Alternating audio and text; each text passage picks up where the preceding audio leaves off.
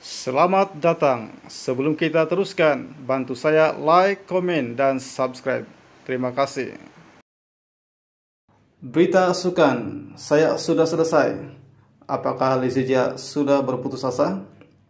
Pemain badminton perseorangan negara Lizia sekali lagi menarik perhatian setelah memuat naik kehantaran tidak sopan di sosial media miliknya.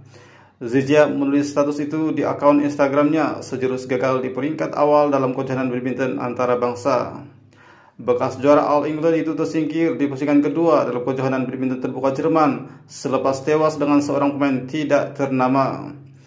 Termasuk dengan kekalahan kepada pemain Taiwan Li Chiahao, sudah empat kali pemain harapan negara itu gagal melangkah ke pusingan suku akhir.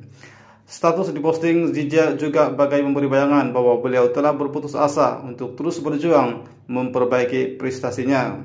Saya sudah selesai, tulis Zija selain turut menyematkan perkataan berbau carutan bagi meluahkan kekecewaannya.